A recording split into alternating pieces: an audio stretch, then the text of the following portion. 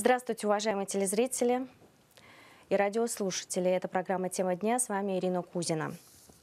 Тема нашей программы – агропромышленный комплекс сегодня, санкции, импортозамещение, продовольственная безопасность и поддержка тверских производителей. Для того, чтобы прийти и ответить на, наш, на наши вопросы, с удовольствием согласился с нами общаться, Сергей Александрович Ватков, заместитель генерального директора ЗАО «Калининская».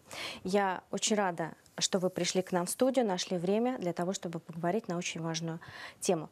А, так вот, как вы себя сейчас чувствуете в условиях санкций? Риски в сельском хозяйстве, в агропромышленном комплексе какие?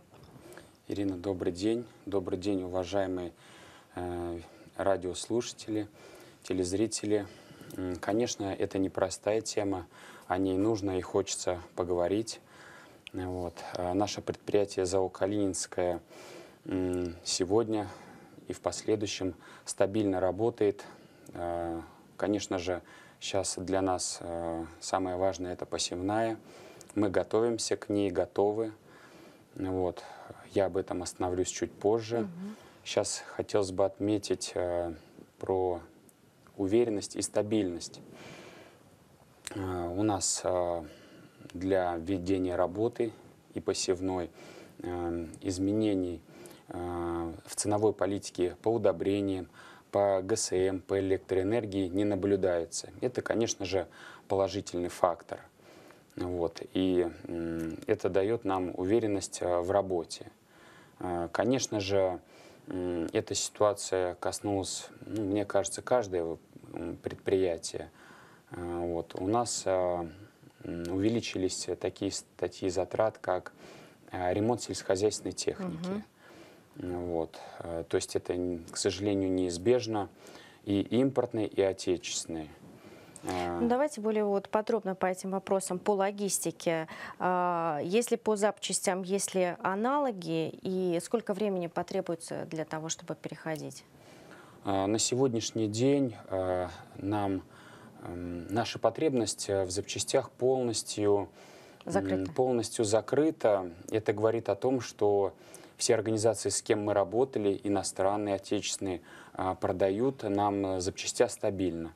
Конечно же, к сожалению, произошел рост по импортным запчастям и незначительно увеличился срок поставки. А что по кормам, что по лекарствам?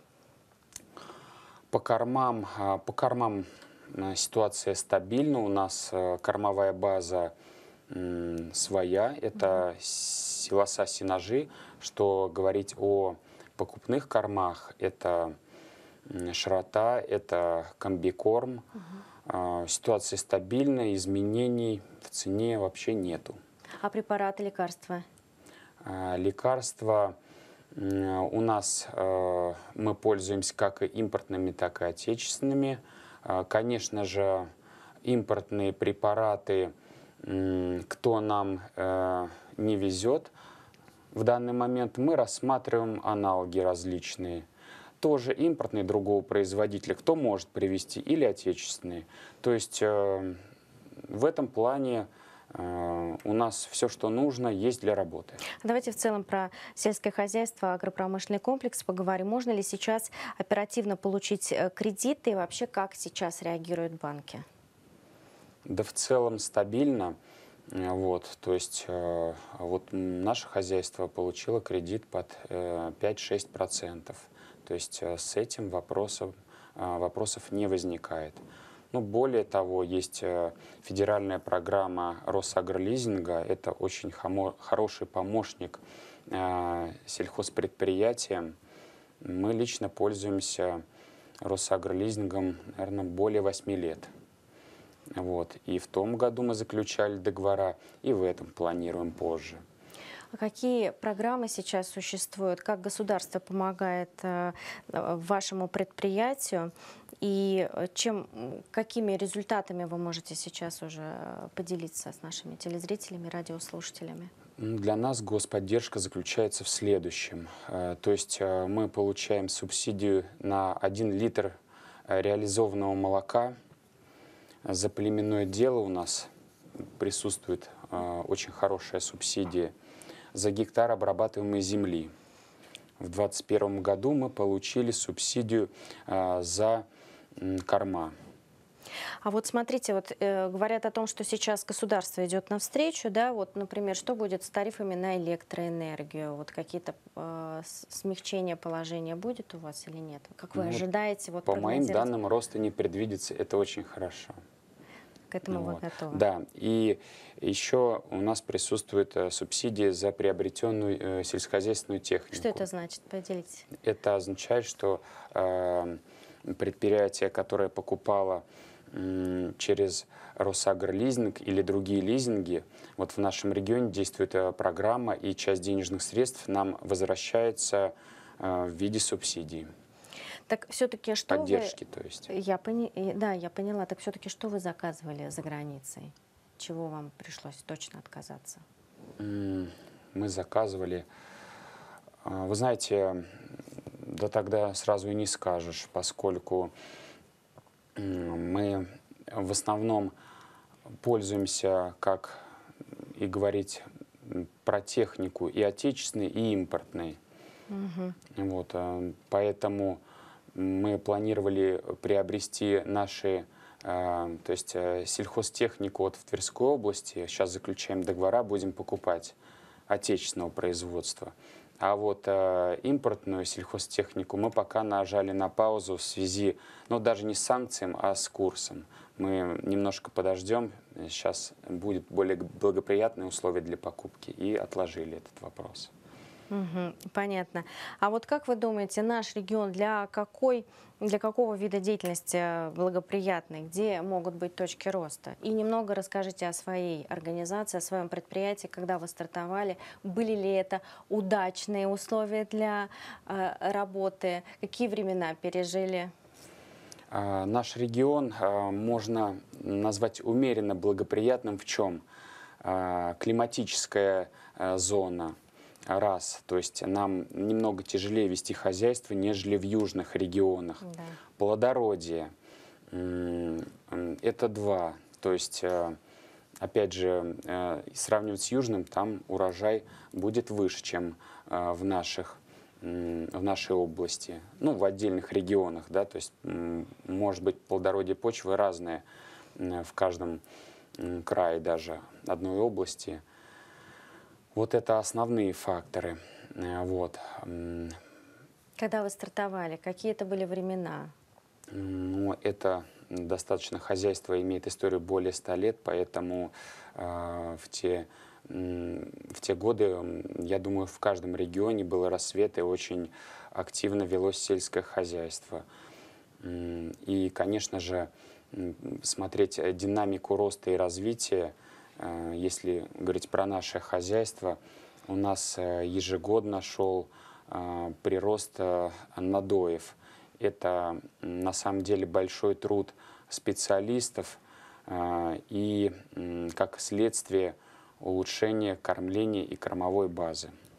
Расскажите, пожалуйста, вообще, чем вы гордитесь больше всего на своем предприятии? Наше предприятие гордится нашими животными, вот, э, хорошим э, надоем высоким.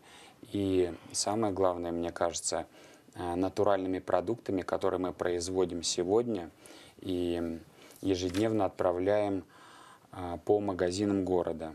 То есть мы производим и отправляем более 15 тонн ежедневно, хотя э, срок годности нашей продукции 7 суток. Это говорит о том, что э, нам приятно, что жители города покупают нашу продукцию вот в таких объемах. А, главный девиз на вашем предприятии к здоровью со вкусом. Со вкусом.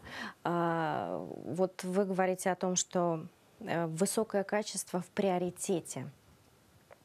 Сами как покупатели отзываются о продукции? Что больше всего любят покупать?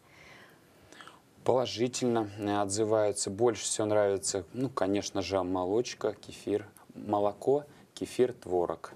Есть какие-то направления, над которыми вы особенно сейчас работаете? Продукции а... будете расширять вот этот фронт продаж? Мы думаем в перспективе а, о производстве сыра, но этот вопрос надо проработать. И он пока сейчас не актуален для вас, вот в сегодняшних экономических условиях? Или вы продолжаете работу?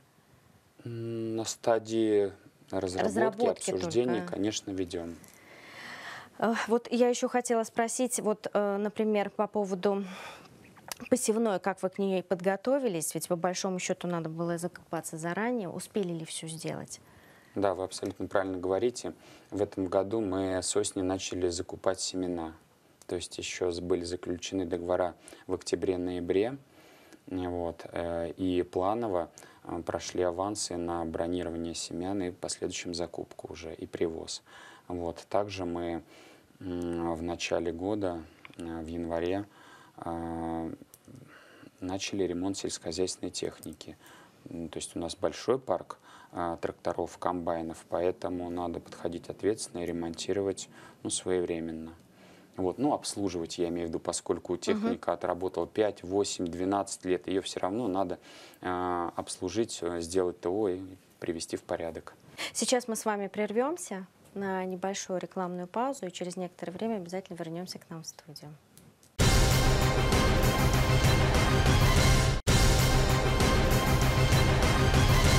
Итак, уважаемые телезрители, мы снова в студии программы «Тема дня». Сегодня мы пригласили к нам ответить на наши вопросы Сергея Александровича Ваткова, заместителя генерального директора ЗАО «Калининская». Тема наша интересная. Агропромышленный комплекс сегодня. Санкции, импортозамещение, продовольственная безопасность и поддержка тверских производителей. Вот э, мы в начале нашей программы с вами заговорили про Росагролизинг. Когда какую технику успели купить и э, почему вам ее одобрили? Почему, когда спрашивают, вот что вы именно э, в Росагролизинге, вызываете какую-то зависть у других? Да не то чтобы зависть, мы наоборот э, тоже рекомендуем многим сельхозпредприятиям воспользоваться Но этой программой. Не дают эту программу вступить? Ну, по определенным обстоятельствам, возможно. Вот, то есть мы последние годы, каждый год заключали договора с Росагролизингом на различную сельхозтехнику трактора, прицепы, другие сельхозмашины. И вот в 2021 году мы приобрели два самых мощных больших трактора «Кировец» Санкт-Петербургского тракторного завода. И они у нас работают на заготовке кормов и на почвообработке. Вот одни, одни из первых поедут в поле вести подготовку почвы для посева однолетних и многолетних трав.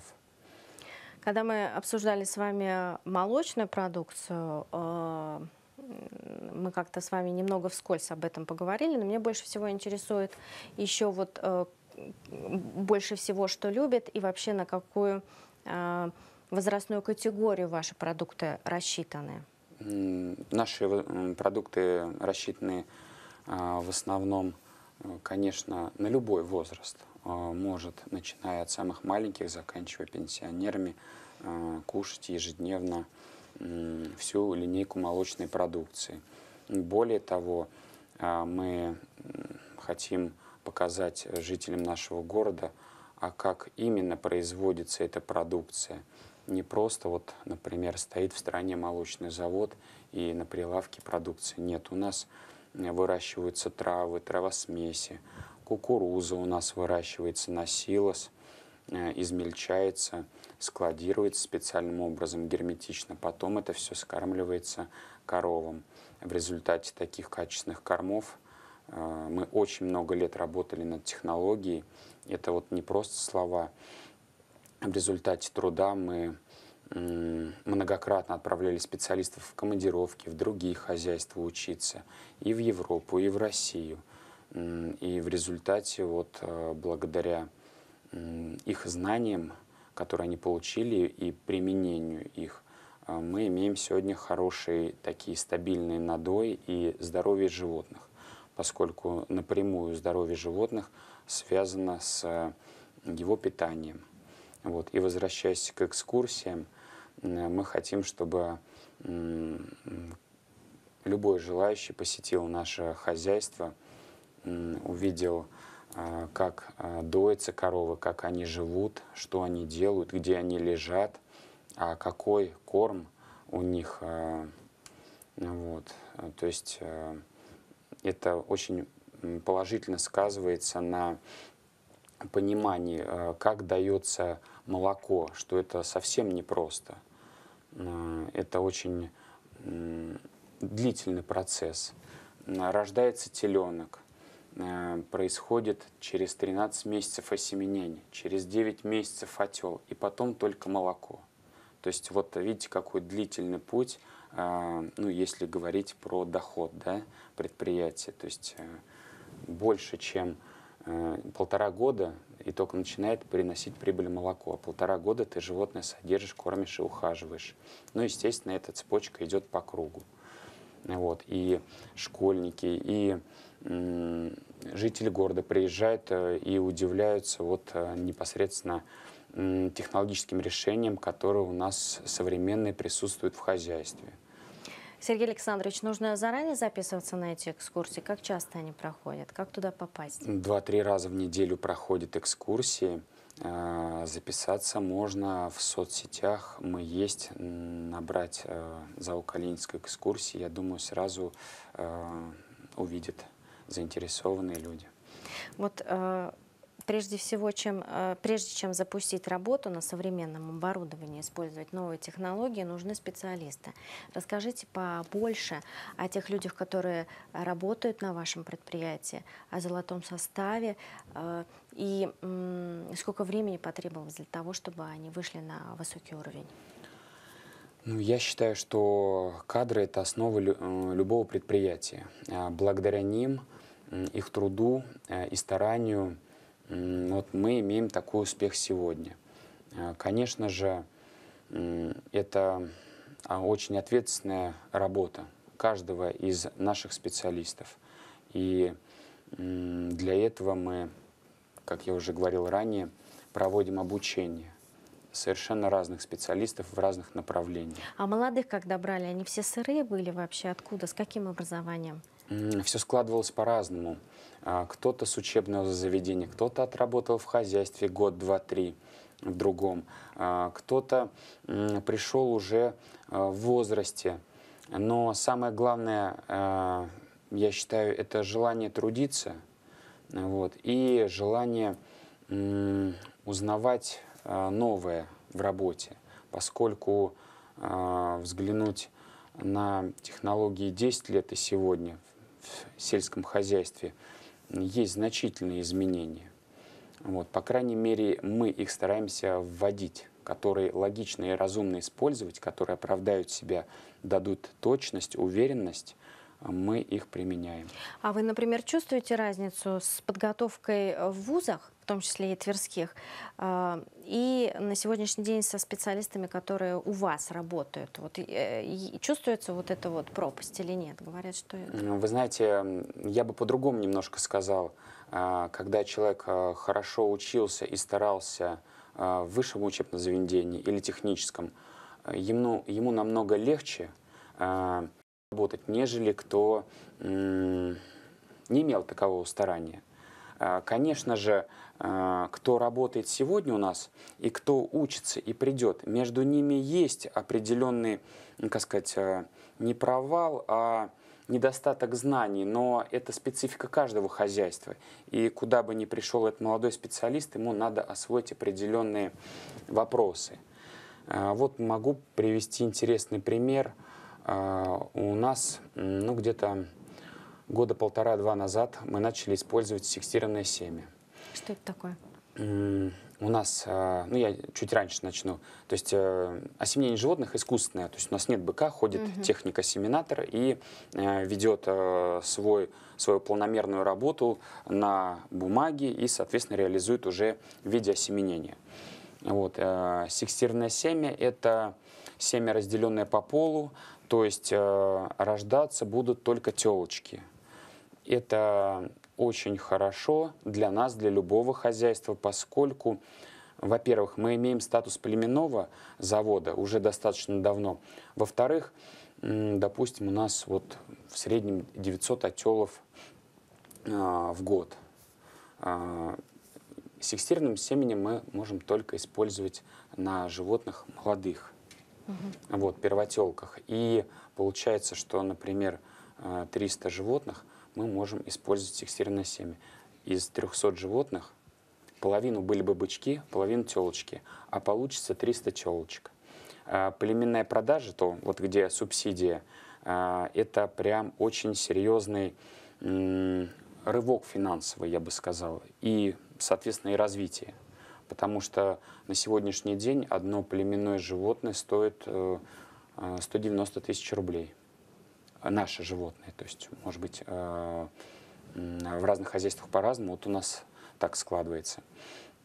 Вот. И э, более того, э, эта технология немного сложнее обычного осеменения, но мы используем импортное оборудование. Я расскажу подробнее.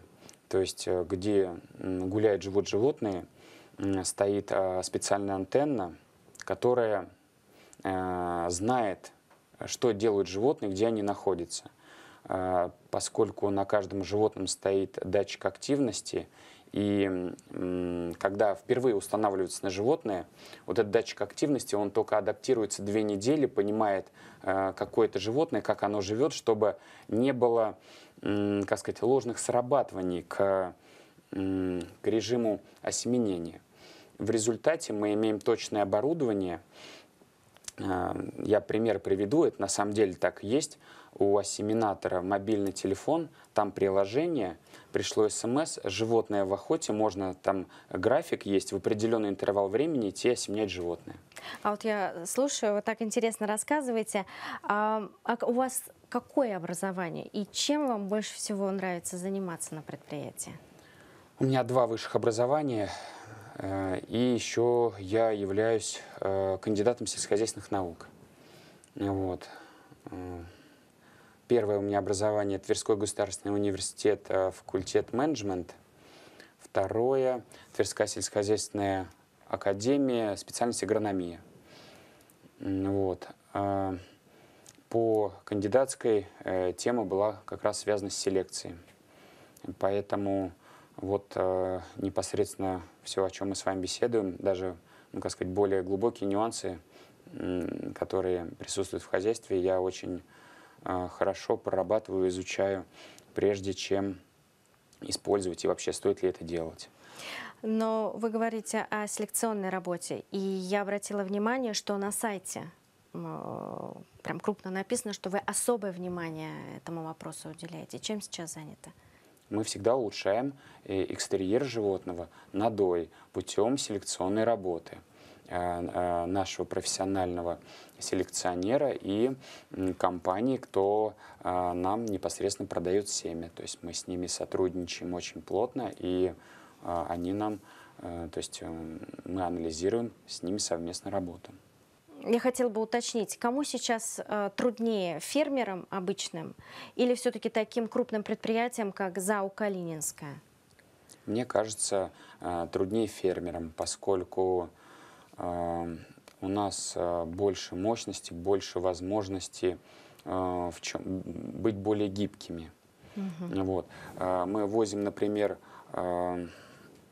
более 200 магазинов города. Мы можем, допустим, что-то не сложилось, повезли в другое место. Или же здесь пару позиций убрали. А если у фермера что-то не сложилось, у него нет такого объема. Угу. Ему либо некуда вести, либо другие нюансы. То есть вот в этом плане, конечно же, поддержка фермеров, она ведется, ведется и никогда не бывает, особенно сейчас, лишней.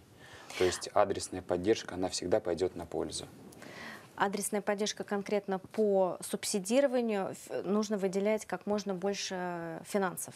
Ну, не совсем так, я бы сказал, поскольку, а возможно, этим злоупотребля... злоупотребляли бы, но сомневаюсь, что в данном случае можно злоупотреблять с учетом таких сегодняшних э, ситуаций. Э, я имею в виду вот э, не брать всех под систему. Я имею в виду адресная помощь конкретному фермеру, фермерскому хозяйству. И что конкретно ему нужно? А, в чем конкретно у него сложности, а, да, угу. и посмотреть, и индивидуальный подход подобрать. Вот вы говорите про магазины. Еще некоторое время назад говорили, что очень трудно местным производителям выйти в крупные торговые точки. Я обратила внимание, что можно вас найти во многих магазинах, в крупных торговых центрах тоже. Как вы ходили, с какими трудностями сталкивались, почему mm. пустили вас? Да, безусловно. А, безусловно, это были большие переговоры, большие сложности. А, бывало такое, что месяцами не отвечали, не брали трубки. А, и ну, полгода-год где-то выходил на переговоры, на заключение договора. Минимум. С некоторыми даже до двух лет выходило, чтобы начать работу. Вот. То есть это на самом деле, это мы крупное предприятие, а малым-то я и не представляю. Да, как. это я понимаю. Вы только работаете в Твери, в муниципалитете? Мы работаем э, по Твери, по магазинам города, в основном сетевые. Вот. Э, пока у нас вот такой формат. А в другие регионы, регионы планировали как-то выходить, нет?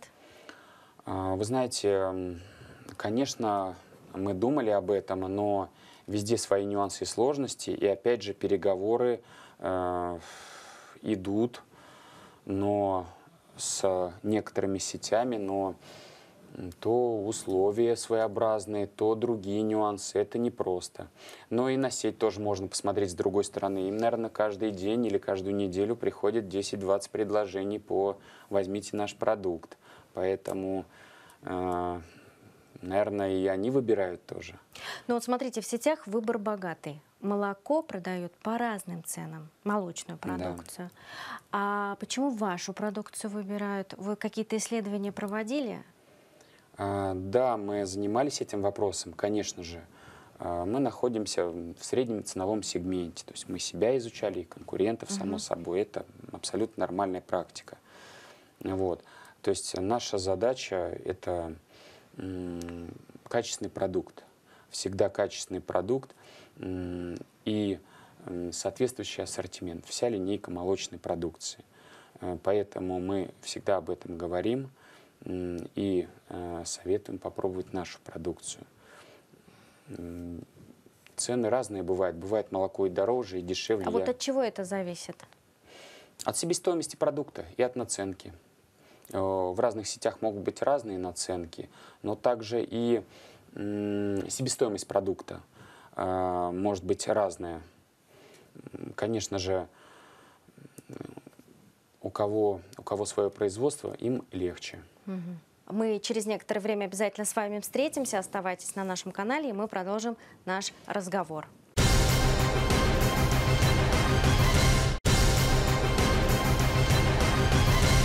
Реклама прошла быстро, мы возвращаемся в, в нашу студию. Сегодня у нас в гостях Сергей Александрович Ватков, заместитель генерального директора ЗАО «Калининская». Мы продолжаем э, с вами наш разговор. Я бы вот о чем хотела бы вас спросить. Я как хозяйка прихожу в магазин и вижу, что цена на молоко разная. Есть дешевое, среднее и очень дорогое молоко. От чего зависит эта цена? И каков должен быть состав у молока, чтобы мы все были здоровы? А, конечно же, несколько важных а, факторов, которые ведут к ценообразованию. Первое – это бренд. Самые дорогие, как правило, молоко и молочные продукты – это очень известные и крупные компании, которые имеют ну, большой масштаб российского характера, там и Валю в том числе. То вот, есть например. они берут деньги за бренд да, в первую да. очередь. То есть Валю это финны, возможно, их не будет. И э, есть вероятность, причем немалая, что на место, на место Валю на полке встанем мы в более широком ассортименте или наши э, хозяйства, соседи, кто вот э, производит и продает молоко и молочные продукты. Так же, как и было с сырами ранее, когда было импортозамещения, э, сыры все пропали с полок практически. Угу. Вот. И год-два и появилось множество, прям большое множество производителей сыров отечественные, разные, с коротким сроком годности, средним, с долгим. Вот. А долгий сыр, он созревает э, от года до двух лет. То есть это длительное вложение, когда ты произвел сыр, получишь деньги за него спустя полтора-два года. А если дешевый продукт выбирают? А, стараются предприятия сэкономить. Вот. И, конечно же, главное, чтобы не нанесли вред здоровью э, гражданам. Вот. То есть вы так корректно намекаете, что дешевое лучше не покупать, а дорогое вы платите за бренд, и нужно искать э, нечто среднее. Правильно я понимаю? Ну, можно сказать и так. Угу. А можно сказать, кому что нравится. Вот. э, То есть я имею в виду, что у каждого э, жителя Твери, России есть свои вкусовые предпочтения. Э, Вот.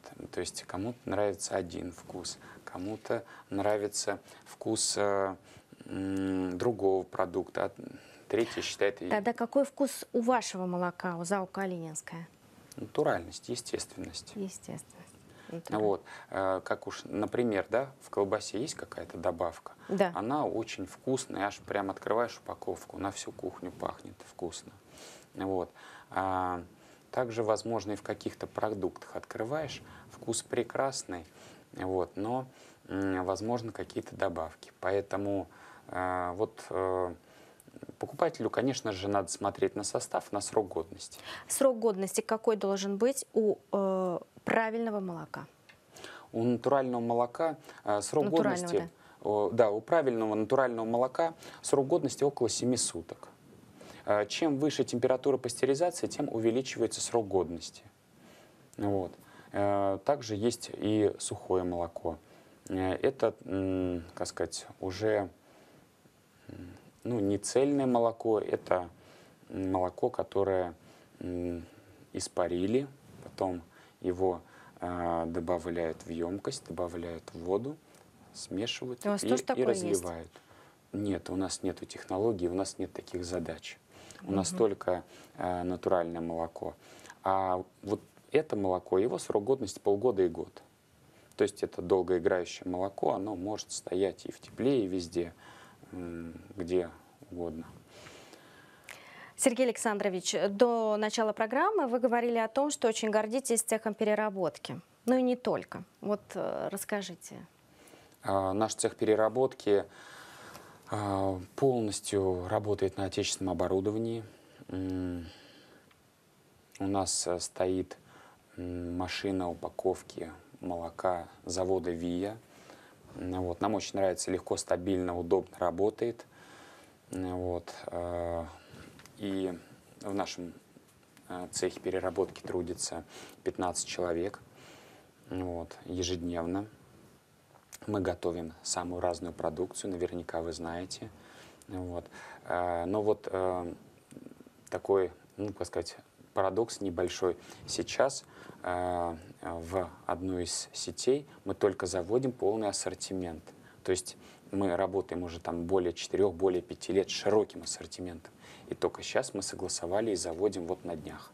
То есть э, это говорит о том, что э, переговоры с сетями тяжи- э, тяжелы бывают, и не всегда им надо вот э, продукт, допустим, еще один.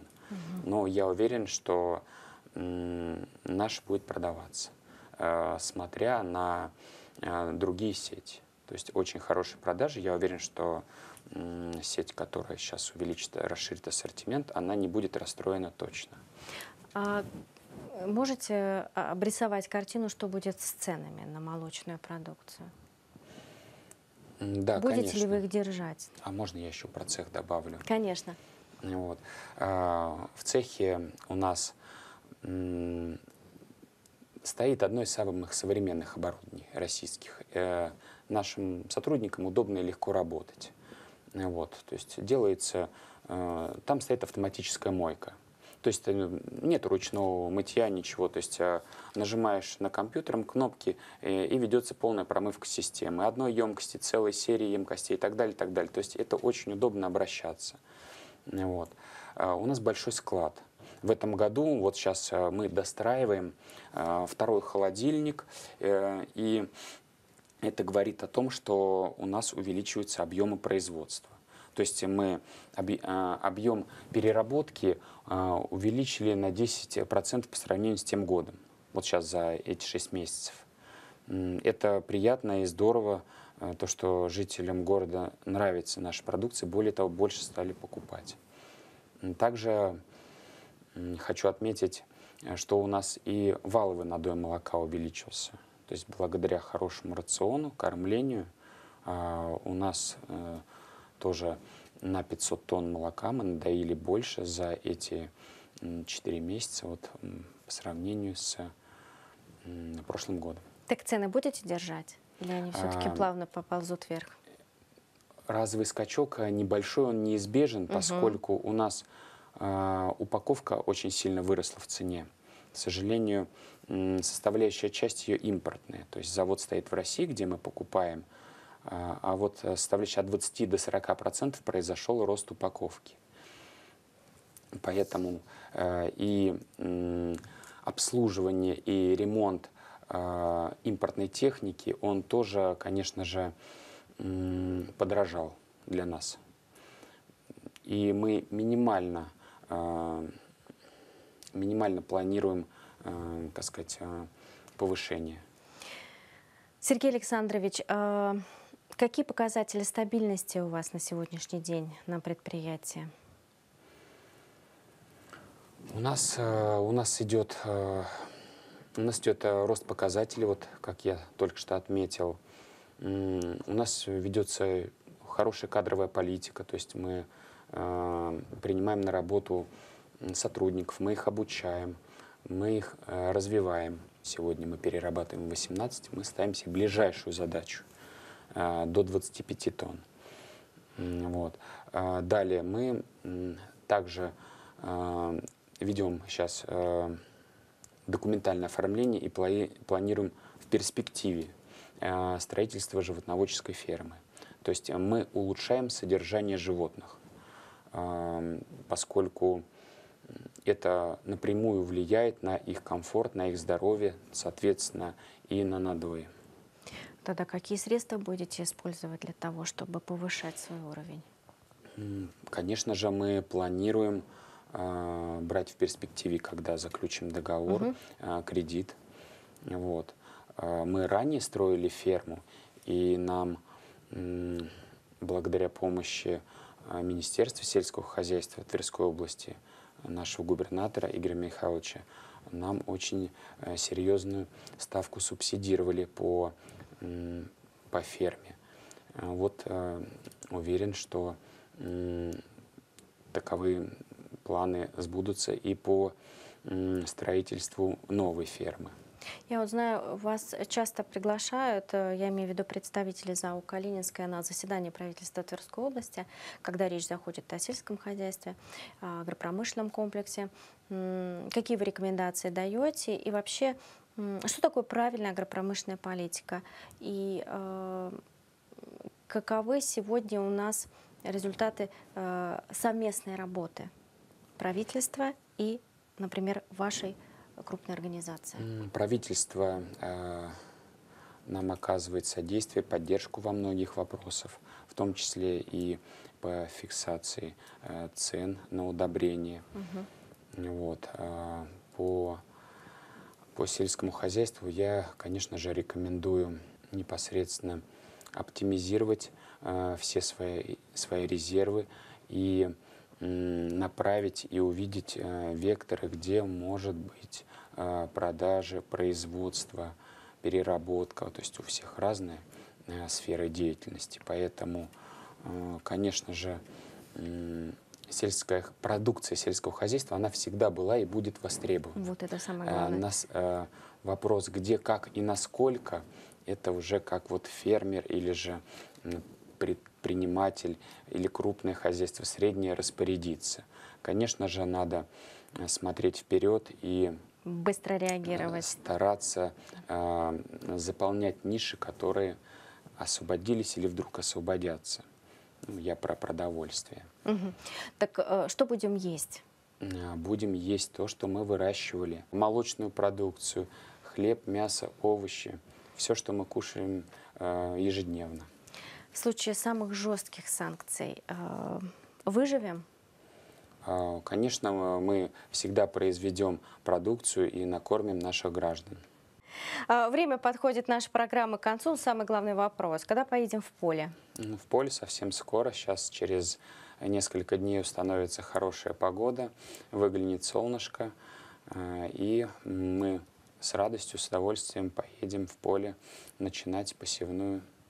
Вот. Уверен, уже в южных регионах они либо выехали, либо готовы выезжать. Ну, приглашайте нашу съемочную группу, приедем, посмотрим, как вы работаете на местах. С удовольствием, обязательно. Я благодарю вас за то, что вы пришли к нам в студию, ответили на все вопросы. Спасибо вам. Спасибо. Это была программа «Тема дня». Всего доброго и до новых встреч.